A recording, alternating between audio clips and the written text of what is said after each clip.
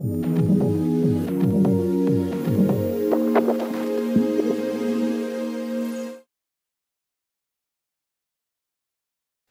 back, guys. Uh, we're unfortunately coming close to the end of Mobile Era, but we still have two exciting talks left. Uh, it's our privilege here to present Balder, and he'll give us a talk. Uh, thank you. Cheers.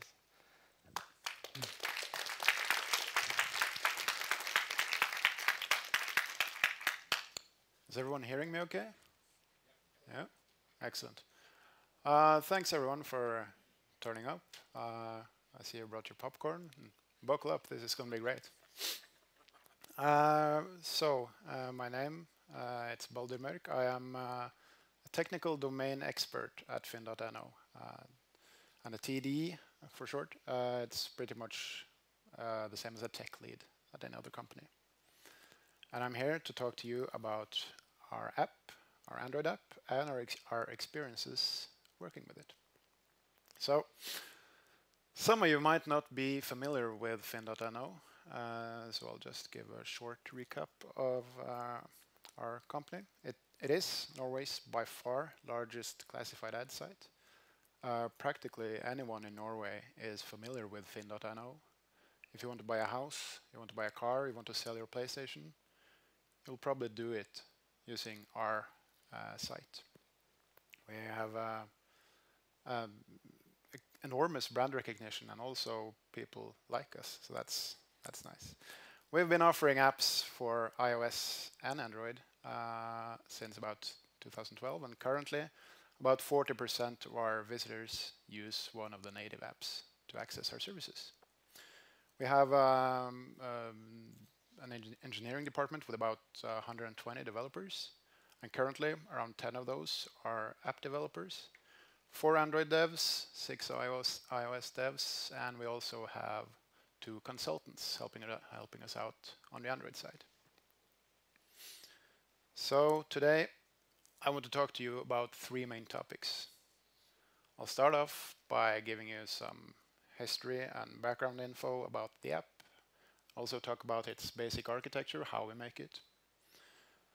Then I'll proceed to talk about what we've learned making that app, um, and also how the choices we made while originally building it affect us today. Um, I'll end off by giving you a little taste of the direction we'll be taking with our app in the future, or at least where we hope or might try to take it. Does this sound okay? Excellent. So, by the way, uh, the cute little cat there, that's our uh, company mascot. His name is Pusefinn. And uh if you are familiar with Norwegian TV ads, you will also know Pusefinn. Yes. I actually uh, went to his party this summer along with all my colleagues.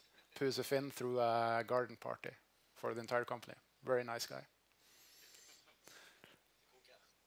He's a cool cat. So, uh, about our app. Now, when we started out making apps at FINN, we wanted to figure out what, which of our currently available services or which actions are hardest to do using our web solution. Because for since about 2000, we've been offering Uh, web version of FINN, and that's been our main entry point. And uh, inserting ads using mobile browsers around 2011, 2012 was could be quite a chore. So we started out uh, making making an app for ad insertion, and that's the only thing it did. If you wanted to browse FINN and find objects for sale, you would have to use the web version. But this could make it uh, simpler to uh, use uh, photos available in your phone's gallery and upload them and create an ad. Then, about a year later, we introduced a separate app for searching and browsing and for saving your favorites. And this had quite neat feature where you could suddenly get notifications when something matching your search turned up on our site. And that's uh, quite a big deal if you are looking for rare items that uh, only turn up every once in a, in a while. Then you could get instant notifications, push notifications on your device when something was available. We had these separate apps for a while, uh, but eventually, and maybe inevitably, we tried we, merged them into a single app. So slight visual makeover and now we also introduced an uh, add new ad feature to our app. Uh, this also this also marked the start of our modularization of the app, which I will get back to you a bit later. Uh, but suddenly we had sort of different sections of the app that had to work together. Moving on. The app's architecture, I'll just talk briefly about that. Uh, we do we use an MVP pattern, and for those of you who are not familiar with that, it's basically about separation of concerns. So for every screen uh, in our app, there is the M is the model, the V is the view, and in our case, that's uh, uh, inheritor of an, uh, an Android view, so it's an Android custom view, and we have a presenter class. And that lets us do testing of our business logic, which is placed in the presenter class, without needing to invoke any Android platform-specific classes.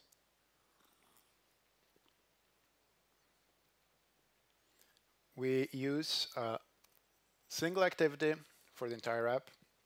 Might be unfamiliar uh, to some Android developers, while others have also started adopting this approach. So each screen that you see while using our app is a custom view. Um, we use something called Flow, which I'll get back to in a moment, for managing our navigation history.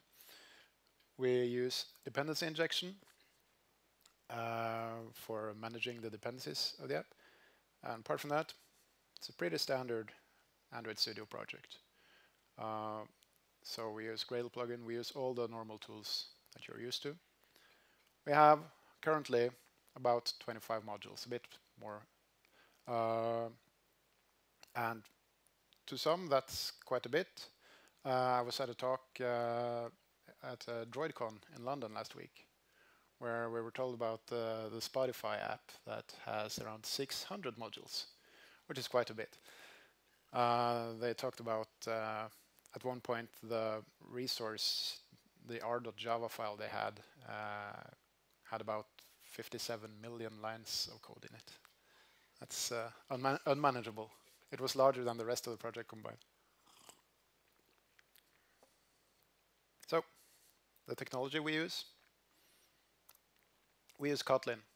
Uh, are you guys familiar with Kotlin? Can I get a show of hands how many are using or have used Kotlin? Okay, so not everyone. Uh, if you are an Android developer currently working with uh, Java, I encourage you to try Kotlin uh, and convince your manager to let you use it. Uh, to us, we have experienced extreme decrease in uh, null pointer exceptions because Kotlin has explicit nullability, so the compiler will warn you uh, or to actually stop you from compiling code where um, property can be null unless you handle that nullability. It also works seamlessly with existing Java code. So you can start off by converting one of your classes to Kotlin and just take it from there. It also offers collection streams, uh, which you don't have in the standard Java on Android.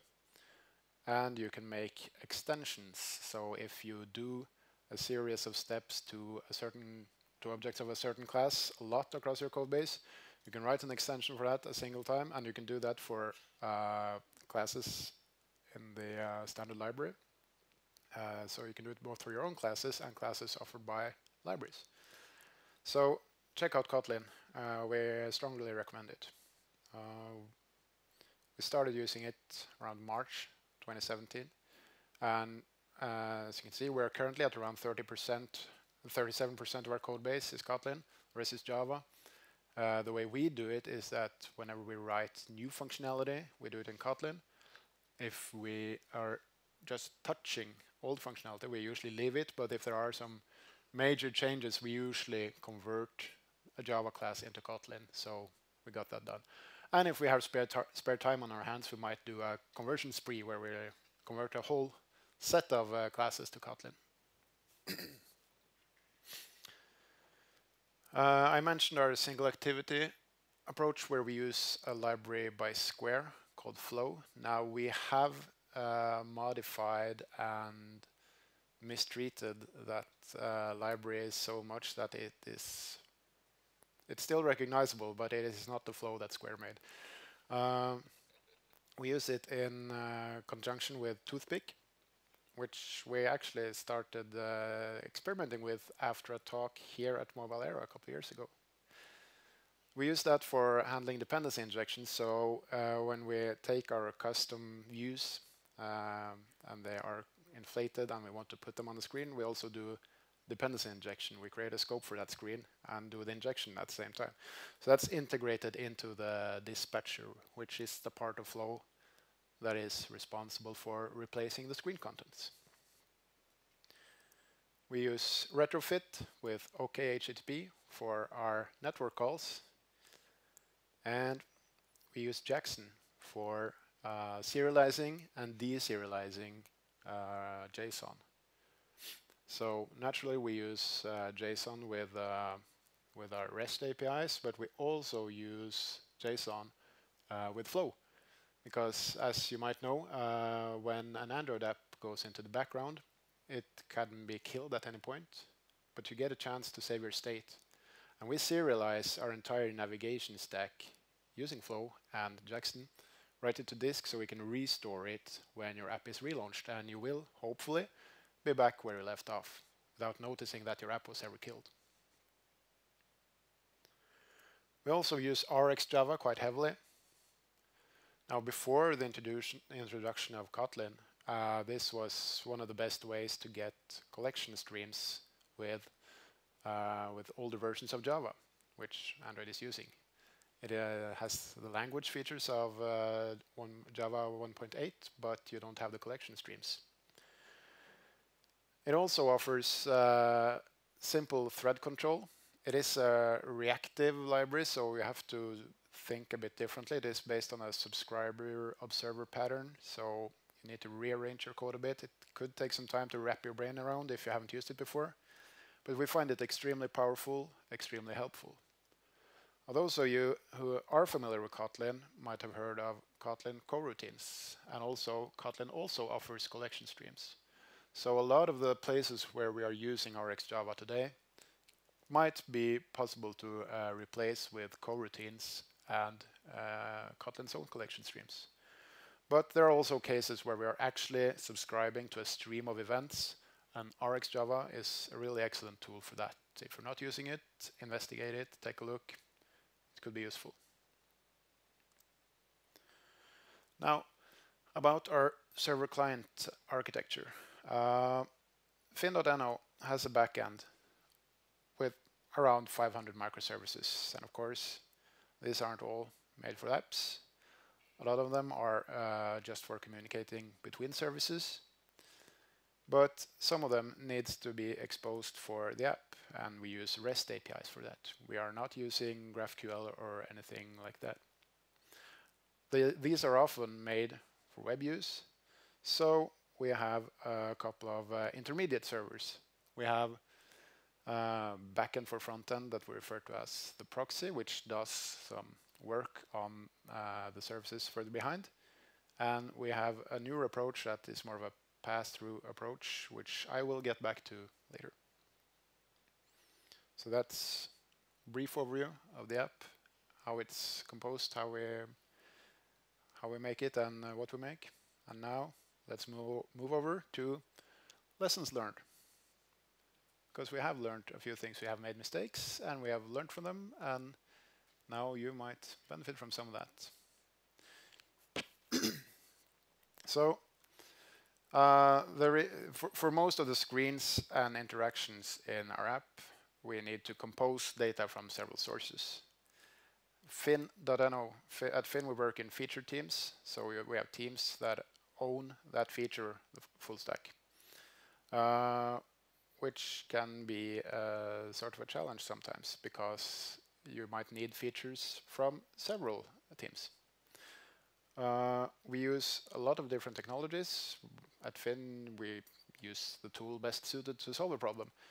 Uh, at least 11 programming languages from Haskell, Scala, Java, uh, React is used, uh, Python, and so on.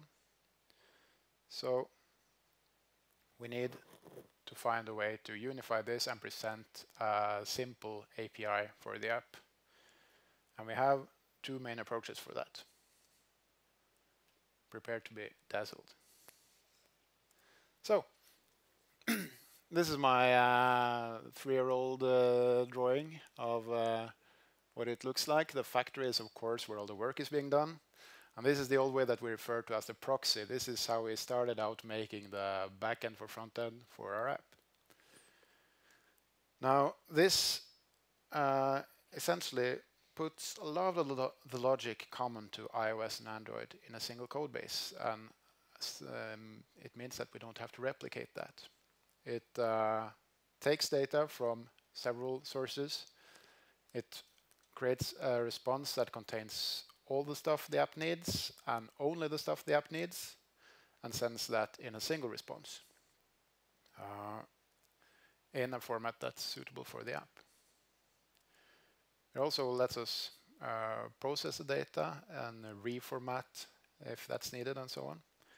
And since we use it for uh, for uh, the page layout information, for for example for ad pages, uh, we can experiment with the order of elements, uh, font sizes, and so on, without having to release a new app.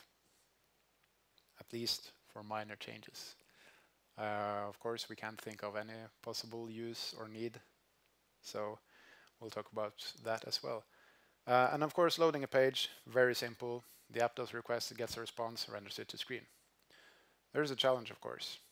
I talked about the feature teams. Uh, and the ownership of the proxy is now a problem because you have clear owners of the circles at the bottom and the app developers deal with the app at the top. Who owns the proxy? Uh, is it the feature owners that are responsible all the way out into the app? Is it the Android devs or the iOS devs? I'm of course joking. iOS devs can't read or write Java, so they are useless in this case. Uh, and this is a challenge we need to solve. So, introducing the new way. We call it the gateway because proxy was already taken.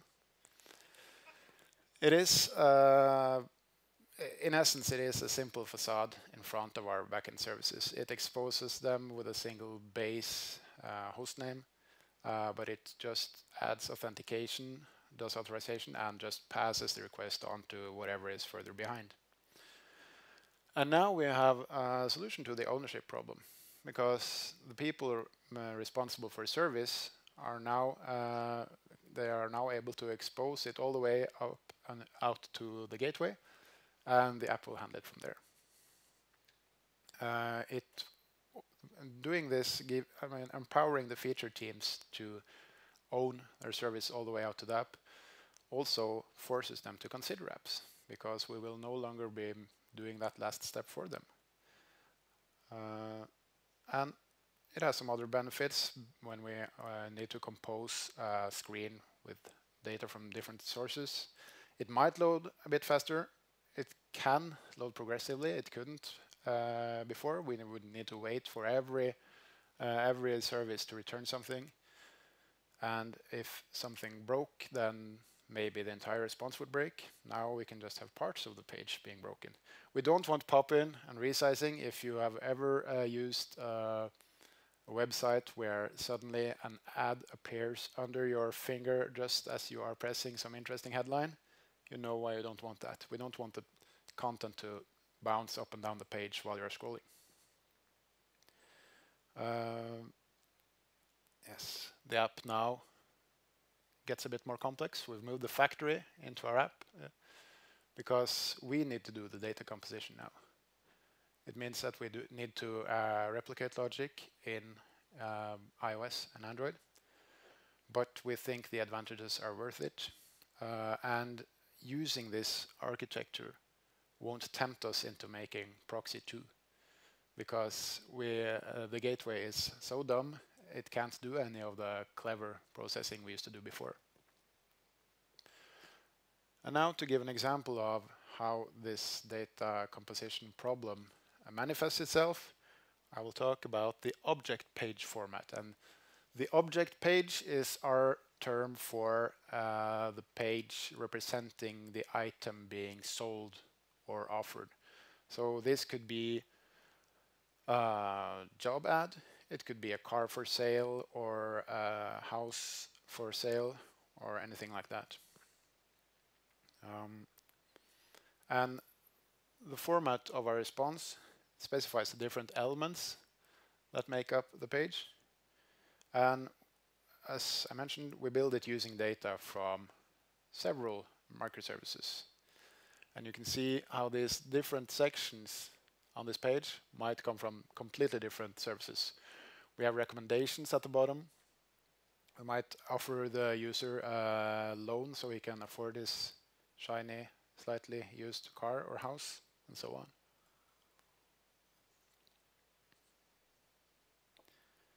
Now, an advantage to having this, uh, because this is a very presentation heavy format, uh, it contains all the styling needed.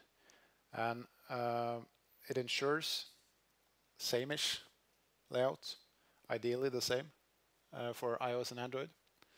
And it made it easy for us to experiment with the order of elements and how they are supposed to look and so on. And this was a big deal back when iOS, iOS apps could spend two weeks in review. Uh, it is not as important anymore. We can usually tweak these things with uh, minor app releases. Uh, but uh, it did make a lot of sense and it also simplified the logic in the apps. It has no semantic information at all, or at least hardly any. It is all styling and uh, the app knows very little about the actual contents of what it's representing. It's usually text laid out in a certain way. Uh, we have a limited set of cell types, so it, if we want to introduce something new, that could be uh, introduce problems with backwards compatibility and so on. So at a point we introduced a new type of cell, uh, which was a uh, which was able to display components. So we added a component uh, language that let us build richer experiences like this with expandable elements and so on. But we were still re-implementing HTML, except this time we were doing it inside of a worse re-implementation of HTML. Um, now, our solution for this is that we are moving towards a pure data format, or at least purer data format. We want to remove uh, the styling. Um, we want to use uh, custom views for the different sections of the page and let the app control how to present the data it receives from the server. And that means that we, if we want to change the visual appearance of page elements, we need to do a new app release, but we think it's worth it and we think it lets us do a lot more exciting things with the stuff on our pages. Uh, it also lets us make uh, layout files, native uh, Android XML files, so we can preview what the pages will look like during uh, while, while, designing on on uh, in Android Studio. So we can uh, hang out with our designers and see this is what it will look like, sort of using sample data which was harder when we needed an actual server response to see what it would look like. To give an example of the problem we are addressing with this, here is what uh, viewing could look like with the old format. So someone is selling their house and uh, as a user you want to see when can I come uh, see the real estate agent and take a look at the house. And this is all presentation. This is text in a table um, we specify which font type to use, uh, the alignment and so on. But if we want to do something clever to this in the app, uh, we want to add functionality for putting this in your calendar or just present it in a new, more exciting way, we can't do that because the app has no way of knowing that this is actually viewing date information. So we do something a little bit more like this, which is uh, less human readable, more machine readable, but uh, it is also a lot more powerful. Uh, we have uh, we now have a viewings type which contains information relevant to viewings and we can start doing some more interesting stuff in the app with this. Uh, and although we are doing this change at the same time as we're introducing the shift from the proxy to the gateway, those two problems are not really connected, but it makes sense to do them at the same time because making uh, these re requests to uh, to uh, data from that might come from a specific feature team. Uh, doing that at the same time as we are enforcing an architecture where services are just passed through the gateway makes a whole lot of sense uh, to do at the same time. We could have tried doing this at the proxy, but then the temptation would eventually uh, arise to start doing the clever stuff again, and we would be back where we were.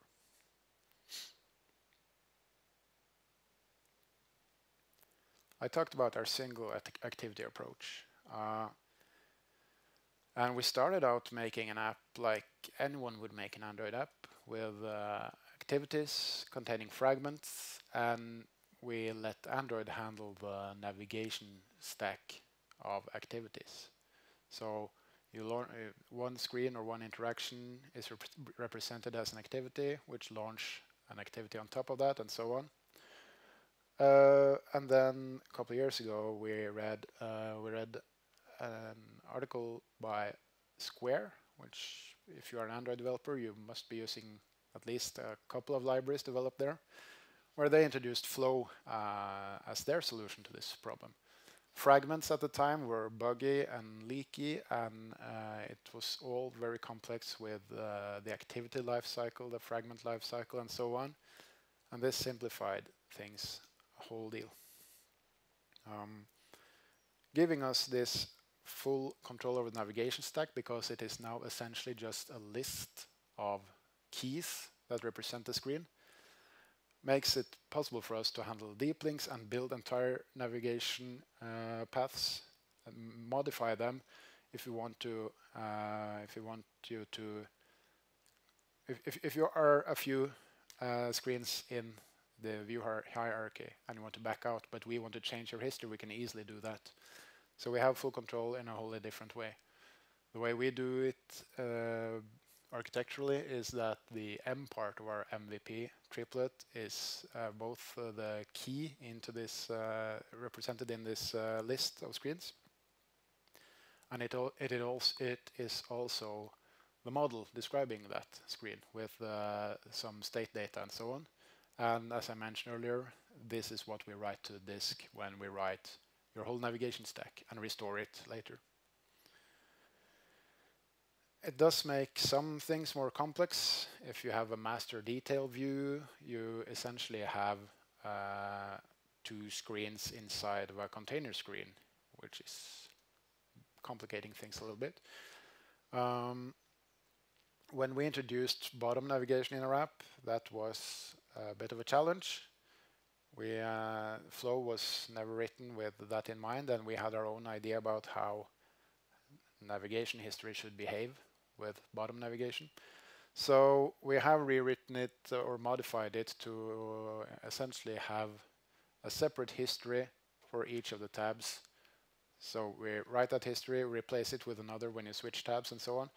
So you can have independent histories for each of the tabs represented in your bottom navigation bar. Uh,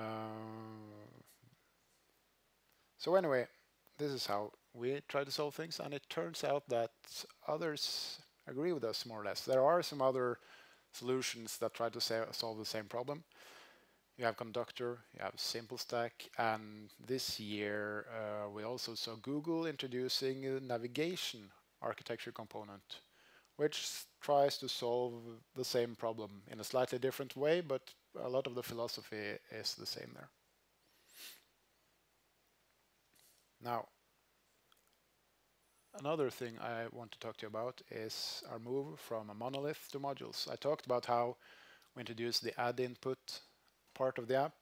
Or we saw that we needed to split split the app because we, well, we essentially uh, tried to reflect the organization structures structure in our app. We had one team working with the ad input stuff, and we had the rest of the app developers working on the rest of the app. We didn't want them to step on each other's toes. We wanted to enable them to work in different modules.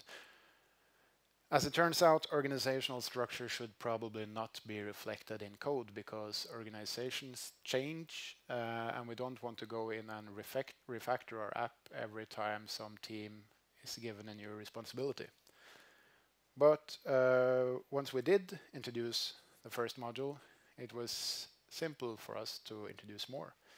Uh, we could start uh, splitting our app up into modules based on functionality. We saw build time, when clean build time went up a little bit uh, with this change, but incremental build time went down because only a single module might need to be rebuilt when you changed some code. Now, Google is constantly improving build time with their build tools, so this might not no longer be the case, but that, these were our, our, experiences at the time. Uh, having a modular uh, app, it makes it more apparent for us which parts of the app are dependent on each other.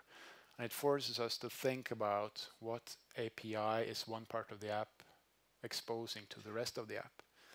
Uh, and seeing these dependencies and feeling them uh, makes it easier for us to enforce a smart structure and try to separate dependencies where possible. Uh, it can also makes it make it easier for us to replace parts of the app. So, for example, uh, we could switch all the code dependent uh, that that we used for messaging, for example. Uh, we could separate out all the tracking logic in a single module uh, and make a simple API for it, and we could then uh, swap out the actual tracking SDK used behind the scenes later on. It also makes it easier for us if we want to explore features like uh, Instant App, where you can surf a web page, you search for used bike, and Google will say, hey, there are uh, 5,000 used bikes on Finn. Click here to open the app and see the search results. It's easier for us to do that when we have split our app into modules. Uh, if we want to release parts of our app as standalone open source libraries, that's simpler to do because they live on their own part of the code base, and so on and so forth. Uh, an example of the modules that we are currently using is, as I mentioned, um, we have a messaging module. Image loader is its own module.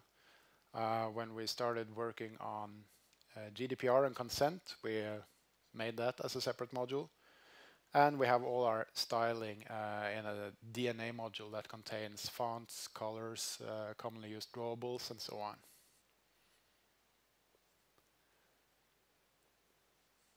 Uh, and now for our next piece of wisdom. I guess you have all experienced the NIHS uh, phenomenon, where you start building an app and you might think that we are the only ones with the right mindset and the right philosophy to solve this problem in the best way possible. And of course, we have also fell victim to this. Uh, when we needed to do JSON deserialization, we wanted to make it as performant as possible. And Jackson, like JSON or Moshi and other similar libraries, was dependent on annotations uh, and we didn't trust Jackson to do this as fast as we could do it with explicit casting. So essentially, we used uh, all the cleverness in JSON. We said, well, we don't need you to convert this into ready-made uh, Java objects. Please give me a list of maps of maps of lists of strings and integers. And uh, this might have been a little bit faster, uh, and uh, at early points of the app's development that mattered because uh, uh, devices were slower. Now, It also makes our code very hard to read, very easy to miscast something, uh, and using the annotations, well, you can still get errors where you think you're receiving a string, but you are actually getting an integer from from the server, or so on. But uh, at the very least, you can now read your code and see what happens, and you have type safety when you pass these responses further down the chain. When you get like four or five calls into a call chain and you see, okay, so I get this map of something. Uh, it's probably a map of lists, I don't know. And you have to look up your uh, JSON response and so on. So our lesson here was that it is okay to use clever features offered by others. Uh, magic can be good, sometimes. We also had our Finn image loader, contained around 600 lines of hard to read RX Java code. It was very performant. It was very fast. It was thread safe. Uh, it didn't leak. It was completely impossible to read or maintain. And once the guy who wrote it left, we were helpless when we wanted to add new features. It was also it was also tightly coupled to a custom image view that contained some of the magic needed to make things work. But uh, we are not the first developers in the world that needed to load images. So at the end, we wrapped it all up in an API, replaced it with uh, with Glide. If we want to switch to Picasso, for example, we can do that now very simply. We are slightly worse now at memory usage. Uh, we might have uh, slightly less efficient caching, but hey, Norwegians buy new phones every year. They can handle it. And now we can actually write code that we are able to read, maintain, and improve upon. So that's a bit about our lessons working with the app. So what's next? Where are we going from here? Well, we are, of course, looking at any shiny new technology that's coming up. We have looked at uh, Jetpack and the architecture components. Now, I mentioned navigation. It, try, it tries to solve some of the problems that we are currently solving with Flow.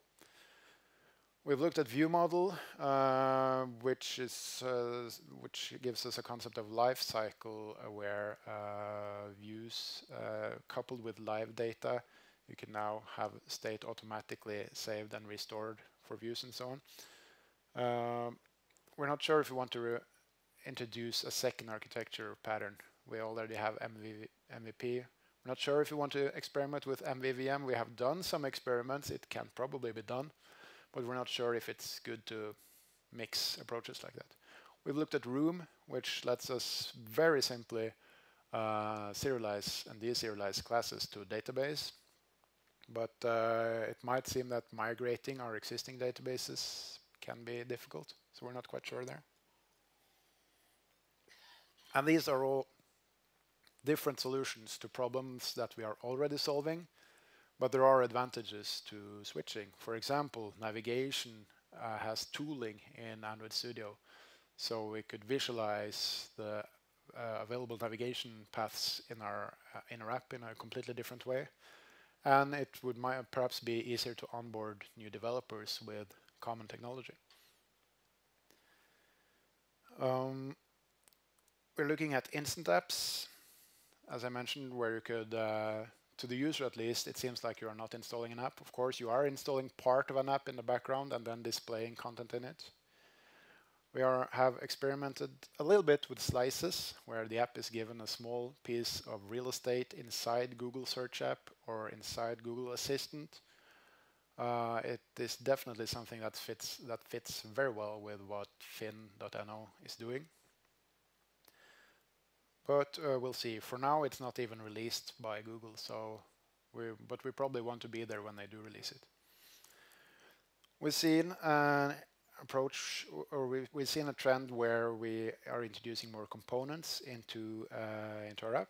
Um, uh, Finn is part of Schibsted. Schibsted had had an explicit strategy of convergence where we wanted to share components across across our sites. So we had a messaging component that we integrated, which is used by several Schibsted companies. We have a trust and reputation, which is like user feedback and so on. Uh, we have an authentication component that we introduced. But then, September this year, uh, these articles started popping up. So, whereas last year uh, the obvious approach for world domination in Schibsted was to converge and share components, the way to world domination is now currently to split the company in two parts, where the parts that make the components we depend on will probably be a different company entirely. So the takeaway from this is that company reorgs do happen, and you need to gear your uh, team to be able to handle those changes. We want to move into open source more than we have. We are offering a couple of libraries. Rx activity response is for those of you that always wanted to wrap your permission uh, requests into Rx Java. Capture Andro is our wrapper around the camera and gallery apps so we make it easy for people to uh, upload to pick an image for upload. There are other solutions to this uh, but it serves us quite well right now. It might serve you as well. Uh, our flow what, what, we did with squares flow it used to be a public repo but uh, it became so tightly integrated with our app that it made sense to keep it inside the app code base and we're working on what is currently known as FilterKit. Uh, that's the name for our iOS implementation. We're working on an Android implementation.